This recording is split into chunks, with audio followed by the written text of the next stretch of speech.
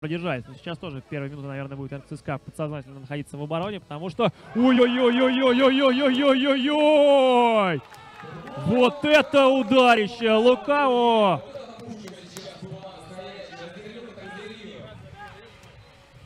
Это просто фантастика. Какой силы удар сейчас был у Лукао. Сейчас только посмотрите повтор, хотя по повтору я вам скажу, что мало что здесь можно будет понять. Посмотрите, как поймал и как просто всадил Лукао в ближний угол. Ну, никто такие мячи никогда в жизни не возьмет.